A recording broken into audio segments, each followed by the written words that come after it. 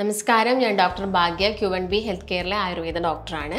നമ്മുടെ ശരീരത്തിൽ പല ഭാഗങ്ങളിലും രക്തോട്ടം പ്രോപ്പറായിട്ട് നടക്കുന്നില്ലെങ്കിൽ അഥവാ ബ്ലഡ് സർക്കുലേഷൻ ഇല്ലെങ്കിൽ ഒരുപാട് ലക്ഷണങ്ങൾ കാണിക്കാറുണ്ട്. പക്ഷേ നമ്മളിൽ പലർക്കും അത് മനസ്സിലാവാതെ പോവാറുണ്ട്. അത് സർക്കുലേഷൻ കുറഞ്ഞിട്ടാണ് എന്നുള്ളൊരു കാര്യമൊക്കെ. ചിലപ്പോൾ നിങ്ങൾ അതിന്റെ ഭാഗമായിട്ട് വരുന്ന ഒരു അസുഖം ഒരു ഡോക്ടറിന്റെ അടുത്ത് കാണിക്കുന്ന സമയത്തായിരിക്കും അവർ പറയുന്നുണ്ടാവുക. നിങ്ങൾക്ക് അവിടെ പ്രോപ്പറായിട്ടുള്ള സർക്കുലേഷൻ ഇല്ല.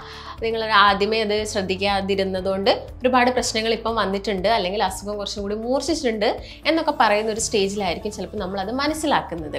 അപ്പോൾ നമ്മുടെ ബോഡിയിൽ അറിയാം നമ്മുടെ ബോഡിയിൽ ഒരുപാട് ബ്ലഡ് വെസൽസ് അഥവാ രക്തക്കുഴലുകളുണ്ട്. ഇതുവഴി ഒരുപാട് രക്തം ശരീരത്തിന്റെ പല ഭാഗങ്ങളിലോട്ടും അതുപോലെ തന്നെ പല ഭാഗങ്ങളിൽ നിന്ന് ഹൃദയത്തിലോട്ടും വരുന്നുണ്ട്.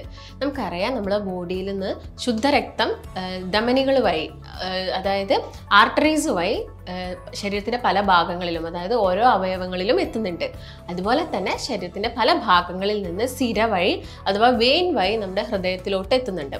ആ ഹൃദയത്തിലോട്ട് വരുന്ന രക്തം അശുദ്ധ രക്തമാണെന്ന് നമുക്കറിയാം. അപ്പോൾ ഈ ഒരു പ്രൊസീജിയർ നമ്മൾ ബോഡിയിൽ ഇങ്ങനെ നടന്നുകൊണ്ടിരിക്കുകയാണ്. ഇത് നടന്നുകൊണ്ടിരിക്കുന്നത് എന്തിനാണ്? നമുക്കറിയാം. നമ്മുടെ ശരീരത്തിൽ നമ്മുടെ തല മുതൽ കാൽ വരെ ശരീരം ഉണ്ടാക്കിയിരിക്കുന്നത് കോശങ്ങൾ കൊണ്ടാണ് അഥവാ സെല്ലുകൾ കൊണ്ടാണ്. ഈ സെല്ലുകൾക്ക് പ്രോപ്പറായിട്ട് അവരുടെ ഹെൽത്ത് മെയിന്റെയിൻ ചെയ്യണമെങ്കിൽ എന്ത് വേണം? പ്രോപ്പറായിട്ടുള്ള ഒരു ന്യൂട്രിയൻസ് വേണം അതുപോലെ തന്നെ ഓക്സിജൻ വേണം.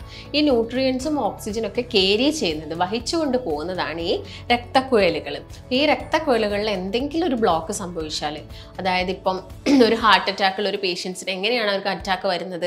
ആ ഹൃദയത്തിലോട്ട് പോകുന്ന രക്തക്കുഴലുകളിലൊക്കെ ചെറിയ ചെറിയ ബ്ലോക്കുകളും കാര്യങ്ങളും ഉണ്ടാകുന്ന സമയത്ത് ഒരു ബ്ലഡ് സർക്കുലേഷൻ അവിടെ നടക്കുന്നില്ല അതിന്റെ ഭാഗമായിട്ട്. അതുപോലെ തന്നെ ശരീരത്തിന്റെ എല്ലാ ഭാഗങ്ങളിലും ഇങ്ങനെ ഒരു ബ്ലോക്ക് വരാനുള്ള ചാൻസസ് കൂടുതലാണ്. അപ്പം ഇങ്ങനെ ബ്ലോക്ക് വരുന്ന സമയത്ത് ശരീരത്തിൽ ബ്ലോക്ക് വരിക അല്ലെങ്കിൽ പ്രോപ്പറായിട്ട് രക്തോട്ടം വരുന്നില്ലെങ്കിലൊക്കെ എന്തൊക്കെ ലക്ഷണങ്ങളാണ് നമ്മുടെ ബോഡിയിൽ ഉണ്ടാകുന്നതെന്ന് നമുക്ക് നോക്കാം. അതുപോലെ ഇത് കൂടുതലായിട്ടും ഏതൊക്കെ അസുഖമുള്ള ആളുകളിലാണ് അല്ലെങ്കിൽ ആരിലൊക്കെയാണ് ഇത് കൂടുതലായിട്ടും കണ്ടുവരുന്നതെന്ന് നോക്കാം.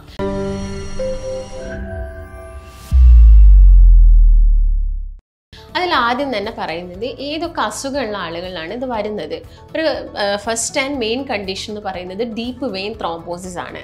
അതായത് വെയിൻ തന്നെ അതായത് സിരകൾ തന്നെ രണ്ട് രീതിയിൽ കാണാം. സൂപ്പർഫിഷ്യൽ ആയിട്ടും അതായത് ജസ്റ്റ് തൊലിക്ക് അടിയിലായിട്ടും കാണാം. അതുപോലെ തന്നെ ഡീപ്പായിട്ടും മസിൽസിന്റെ അടിയിലായിട്ടും കാണാം. ഈ ഡീപ്പ് വെയിനിൽ വരുന്ന ത്രോംബോസിസ് ത്രോംബോസിസ് എന്ന് പറയുന്നത് ബ്ലഡ് ക്ലോട്ട് ആവുന്ന ഒരു കണ്ടീഷനാണ് ഇങ്ങനെ ആവുന്നത് മൂലം ശുദ്ധരക്തം ശരീരത്തിന്റെ പല ഭാഗങ്ങളിലോട്ടും പോകുന്നതൊക്കെ ബ്ലോക്ക് ആവുകയും ആ ഭാഗത്ത് എന്ത് വരാം?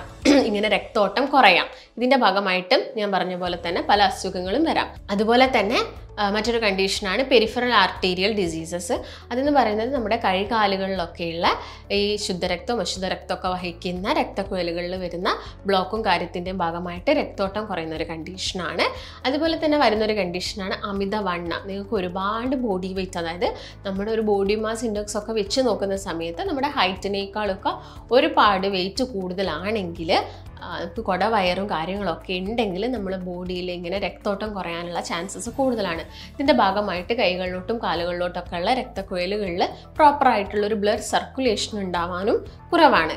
അതുപോലെ തന്നെ ഇപ്പം പ്രമേഹ രോഗികളൊക്കെ നോക്കുകയാണെങ്കിൽ നമുക്കറിയാം അവരുടെ രക്തത്തിൽ ഗ്ലൂക്കോസിന്റെ അളവ് കൂടുതലായിട്ട് വരുന്ന ഒരു കണ്ടീഷനാണ് അപ്പം ഇങ്ങനെ രക്തത്തിൽ ഗ്ലൂക്കോസ് കൂടുതലായിട്ട് വരുമ്പോൾ എന്താവും? ആ കടന്നു പോകുന്ന രക്തം കുറച്ചും കൂടി സ്ലോ ആയിട്ടേ മൂവ് ആവുള്ളൂ. ആ രക്തത്തിന് കുറച്ചും കൂടി ഒരു കട്ടി വയ്ക്കും കാരണം അവിടെ ഷുഗറും കൂടി ആഡ് ആവുകയാണ്. അതിന്റെ ഭാഗമായിട്ടും രക്തോട്ടം കുറയാനുള്ള ചാൻസസ് കൂടുതലാണ്. ഇപ്പോൾ ഒട്ടുമിക്ക കേസുകളിലും ഈ ഷുഗർ പേഷ്യൻസ് പറയുന്ന ഒരു കാര്യമുണ്ട്. അവർക്ക് എപ്പോഴും കാലിന് കഴുപ്പാണ് അല്ലെങ്കിൽ കൈക്കൊക്കെ എപ്പോഴും ഒരു തരിപ്പ് കാലിന് മരവിപ്പ് വരുന്നതൊക്കെ നമ്മൾ എപ്പോഴും കോമൺ ആയിട്ട് കേൾക്കുന്ന കാര്യങ്ങളാണ്. അതുപോലെ തന്നെ കണ്ടിന്യൂസ് ആയിട്ട് സ്മോക്കിംഗ് ചെയ്യുന്ന ആളുകൾ അതായത് ഒരു ചെയിൻ സ്മോക്കേഴ്സ് ഒക്കെ ആവുന്ന സമയത്ത് അവരുടെ രക്തത്തിലും ഈ നമ്മുടെ സ്മോക്കിങ്ങിലുള്ള നിക്കോട്ടിൻ പോലെയുള്ള പദാർത്ഥങ്ങൾ വന്ന് അടിഞ്ഞു കൂടുന്നതിന്റെ ഭാഗമായിട്ടും സർക്കുലേഷൻ കുറയാനുള്ള ചാൻസസ് കൂടുതലാണ്. അതിന്റെ ഭാഗമായിട്ടും ഇങ്ങനെ ഉള്ളൊരു കണ്ടീഷൻസ് വരാം. അവരുടെ കാലിനും കൈക്കുമൊക്കെ വേദന കഴപ്പ് അതുപോലെ തന്നെ കളറിലൊക്കെ വ്യത്യാസങ്ങളൊക്കെ നമ്മൾ കണ്ടുവരാറുണ്ട്. അപ്പോൾ എന്തൊക്കെയാണ് പ്രധാനപ്പെട്ട മെയിൻ ലക്ഷണങ്ങൾ? ഇങ്ങനെ സർക്കുലേഷൻ കുറയുന്ന സമയത്ത് ഉണ്ടാവുന്ന ലക്ഷണങ്ങൾ എന്തൊക്കെയാണെന്ന് നമുക്ക് നോക്കാം. അതിൽ ആദ്യം തന്നെ ഞാൻ പറയുന്നത് വെരിക്കോസ് വെയിന്റെ കാര്യമാണ്. വെരിക്കോസ് വെയിൻ ഉള്ള ആളുകളിൽ മെയിനായിട്ടും അവിടെ ബ്ലഡ് എന്താ ചെയ്യുക സ്റ്റാഗ്നന്റ് ആയിട്ട് കിടക്കുകയാണ് കെട്ടിക്കിടക്കുകയാണ് ചെയ്യുന്നത്. ഞാൻ പറഞ്ഞല്ലോ എപ്പോഴും ഇത് കാണുന്നത് നമ്മുടെ തൊട മുതൽ കാൽ വരെയുള്ള ഒരു ഏരിയയിലാണ് ഈ വെരിക്കോസ് വെയിൻ കൂടുതലായിട്ടും കാണുന്നത്. അതും രണ്ട് രീതിയിൽ തന്നെ പുറത്തായിട്ടും വെരിക്കോസ് വെയിൻ കാണാൻ ചില ആളുകൾക്ക് ഉള്ളിലായിട്ടും വെരിക്കോസ് വെയിൻ കാണാറുണ്ട്. അപ്പം ഇങ്ങനെയുള്ളൊരു കേസുകളിൽ കൂടുതലും ഞരമ്പ് അവിടെ തടിച്ച് വീർത്ത് കിടക്കുന്നതാണ് നമ്മൾ കാണുന്നത്. ഒട്ടുമിക്ക കേസുകളുടെ കേസ് നോക്കുകയാണെങ്കിലും ഇതൊന്നെങ്കിൽ ലോങ് സ്റ്റാൻഡിങ് ഉള്ള ആളുകൾ അല്ലെങ്കിൽ ഒരുപാട് സമയം ഇരുന്ന് ജോലി ചെയ്യുന്ന ആളുകളിലൊക്കെയാണ് ഇത് കണ്ടുവരുന്നത്. ഇതിന്റെ ഒരു കേസ് നോക്കുകയാണെങ്കിൽ എപ്പോഴും കാലിൽ നിന്ന് തിരിച്ച് പുറകിലോട്ടുള്ള രക്തക്കുഴലുകളിലുള്ള ബ്ലഡ് അവിടെ കെട്ടിക്കിടക്കുന്നതിന്റെ ഭാഗമായിട്ട് അവിടെ ഒരു അശുദ്ധ രക്തം ഫോം ചെയ്യും. നോർമലി അശുദ്ധ രക്തമാണ് കാലിൽ നിന്ന് തിരിച്ച് ഹൃദയത്തിലോട്ട് പോകുന്നത്. ഇതവിടെ കെട്ടിക്കിടക്കും. ആ രക്തക്കുഴലിന്റെ ഉള്ളിലുള്ള വാൽവുകൾക്ക് എന്തെങ്കിലും തകരാറ് സംഭവിച്ചിട്ട് അവിടെ ഒരു സ്റ്റാഗ്നൻസി നടക്കും. അതിന്റെ ഭാഗമായിട്ട് എന്ത് സംഭവിക്കും? സർക്കുലേഷൻ പ്രോപ്പറായിട്ട് നടക്കണമെന്നില്ല. അപ്പോൾ വെരിക്കോസ് വെയിൻ ഉള്ള ആളുകളിലും ഇങ്ങനെയുള്ള ലക്ഷണങ്ങൾ കണ്ടു വരാറുണ്ട്.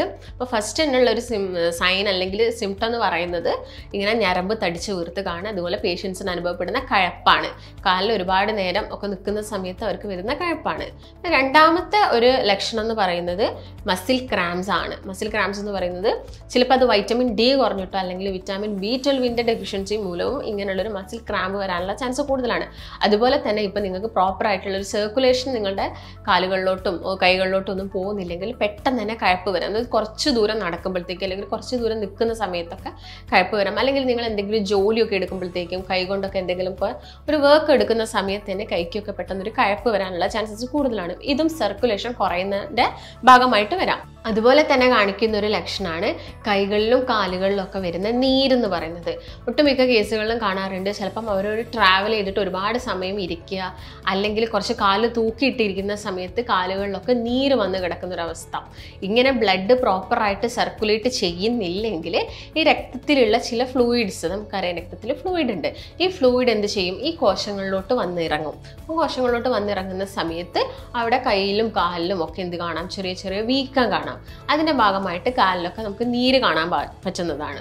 അപ്പം ഇതും ഒരു ബ്ലഡ് സർക്കുലേഷൻ പ്രോപ്പറായിട്ട് നടക്കുന്നില്ലെങ്കിലുള്ള ഒരു ലക്ഷണമാണ് അതുപോലെ തന്നെ വരുന്നതാണ് ചൊറിച്ചിൽ ഈ നീരൊക്കെ ഉണ്ടെങ്കിലും അല്ലെങ്കിലും ചില ആളുകൾക്ക് കാലിലൊക്കെ നന്നായിട്ട് ചൊറിച്ചിൽ വരിക അല്ലെങ്കിൽ ഒരു ഏരിയയിൽ നല്ലൊരു ബ്ലാക്കിഷ് ഡിസ്കളറേഷൻ ഇപ്പം സിഗരറ്റ് സ്മോക്ക് ചെയ്യുന്ന ആളുകളിൽ നമ്മൾ കാലുകളിലൊക്കെ ആദ്യം തന്നെ ഇനീഷ്യലായിട്ട് നമ്മൾ കാണുന്നത് ഒരു ചേഞ്ച് കളർ ചേഞ്ച് കാണുന്നത് കാലുകളിലാണ്.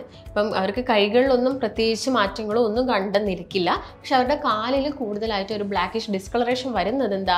അവിടെ പ്രോപ്പറായിട്ടുള്ള സർക്കുലേഷൻ ഇല്ല എന്ന് കാണിക്കുന്നതാണ്. ഇപ്പം ഇങ്ങനെ പ്രോപ്പറായിട്ട് സർക്കുലേഷൻ വേറെ ഏതെങ്കിലും കണ്ടീഷൻ മൂലം വരികയാണെങ്കിൽ ഇപ്പം അമിത മണ്ണുള്ള ആളുകളിൽ അല്ലെങ്കിൽ വെരിക്കോസിറ്റി ഉള്ള ആളുകളിലൊക്കെ നമ്മൾ കാണാറുണ്ട് കാലിൽ ഒരു ബ്ലാക്കിഷ് ഡിസ്കളറേഷനും അതുപോലെ തന്നെ നെക്സ്റ്റ് കണ്ടീഷനായിട്ട് വരുന്നതാണ് ചൊറിച്ചിൽ എന്ന് പറയുന്നത്. അതുപോലെ തന്നെ ഈ ബ്ലഡ് സർക്കുലേഷൻ കുറയുന്ന സമയത്ത് നമ്മൾ കാണുന്ന ഒരു ലക്ഷണമാണ് തരിപ്പ് അതുപോലെ തന്നെ മരവിപ്പൊക്കെ ഇപ്പോൾ ഒരു ഷുഗർ പേഷ്യന്റിനെ നോക്കുകയാണെങ്കിൽ ഒരുപാട് കാലമായിട്ട് അവർക്ക് ഷുഗർ ഉണ്ടെങ്കിലൊക്കെ ഫ്യൂച്ചറിൽ അവർ പറയുന്നൊരു കാര്യമാണ് കൈക്കും കാലിനും ഒക്കെ നല്ല തരിപ്പ് എന്നുള്ളൊരു കാര്യം. ഇതിനുള്ളൊരു മെയിൻ റീസൺ പ്രോപ്പറായിട്ടുള്ള ഒരു സർക്കുലേഷൻ നടക്കുന്നില്ലെങ്കിൽ നാടികളുടെ ആ ഒരു സംവേദനക്ഷമതയൊക്കെ കുറയാനുള്ള ചാൻസസ് കൂടുതലാണ്. അതിന്റെ ഭാഗമായിട്ട് തരിപ്പ് വരാം. പിന്നെ ആ ഒരു ഭാഗത്ത് അതായത് ബ്ലഡ് സർക്കുലേഷൻ പ്രോപ്പറായിട്ട് നടക്കാത്ത ഭാഗത്ത് രോമൊക്കെ കൊഴിയുന്നതായിട്ട് അതായത് നിങ്ങൾക്ക് നോർമലി ഇപ്പോൾ കാലിലൊക്കെ നല്ല രോമമുള്ള വ്യക്തിയൊക്കെയാണെങ്കിൽ ഈ സർക്കുലേഷൻ കുറയുന്ന സമയത്ത് അവിടെയുള്ള രോമൊക്കെ കൊഴിഞ്ഞു പോകുന്നത് നമുക്ക് കാണാൻ സാധിക്കും.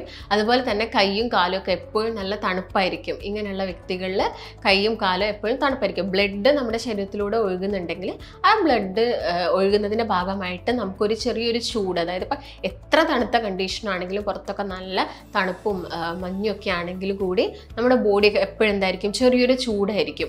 എന്നാൽ ഇങ്ങനെയുള്ള ആളുകളിൽ അവരുടെ ബോഡിയും കൈയും കാലും ഒക്കെ എപ്പോഴും നല്ല തണുപ്പായിരിക്കും. ഇതിനുള്ളൊരു മെയിൻ റീസൺ എന്ന് പറയുന്നത് അവർക്ക് പ്രോപ്പറായിട്ടുള്ളൊരു ബ്ലഡ് സർക്കുലേഷൻ ഇല്ലാത്തത് കൊണ്ടാണ് അതുപോലെ തന്നെ ഇപ്പോൾ പുരുഷന്മാരൊക്കെ നോക്കുകയാണെങ്കിൽ അവർക്ക് കോമൺ ആയിട്ട് കണ്ടുവരുന്ന ഒരു കണ്ടീഷനാണ് ഇറക്റ്റൈൽ ഡിസ്ഫങ്ഷൻ അതിനൊരു മെയിൻ റീസൺ ആയിട്ട് ഒരു മൂലകാരണമായിട്ട് മിക്കവാറും അവരിലൊരു ഷുഗറോ അല്ലെങ്കിൽ കൊളസ്ട്രോളോ അങ്ങനെ അല്ലെങ്കിൽ ഒരു യൂറിക് ആസിഡോ അങ്ങനെ അല്ലെങ്കിൽ എന്തെങ്കിലും ഒരു ബുദ്ധിമുട്ട് അവർക്ക് ഉണ്ടെങ്കിൽ പിന്നീട് അവരുടെ രക്തത്തിൽ ഇത് വന്ന് അതല്ലെങ്കിൽ കൊളസ്ട്രോൾ ചീത്ത കൊളസ്ട്രോൾ ഒക്കെ വന്ന് കിടക്കാനുള്ള ചാൻസസ് കൂടുതലാണ്. അല്ലെങ്കിൽ ഞാൻ നേരത്തെ പറഞ്ഞ പോലെ തന്നെ ഗ്ലൂക്കോസ് വന്ന് കിടക്കാനുള്ള ചാൻസ് കൂടുതലാണ്. അപ്പോൾ രക്തോട്ടൊക്കെ എന്താണെങ്കിലും സ്ലോ ആവാൻ തുടങ്ങും. ഇതിന്റെ ഭാഗമായിട്ടൊക്കെ അവർക്ക് പിന്നീട് ഉദ്ധാരണ കുറവൊക്കെ വരാനുള്ള ചാൻസ് ചാൻസസ് കൂടുതലാണ്. അപ്പം മെയിനായിട്ട് നമ്മൾ നോക്കുകയാണെങ്കിൽ ഇതൊക്കെ തന്നെയാണ് നമ്മുടെ ശരീരത്തിൽ പ്രോപ്പർ ആയിട്ടുള്ള ഒരു ബ്ലഡ് സർക്കുലേഷൻ ഇല്ലെങ്കിൽ ഉണ്ടാവുന്ന ലക്ഷണങ്ങൾ.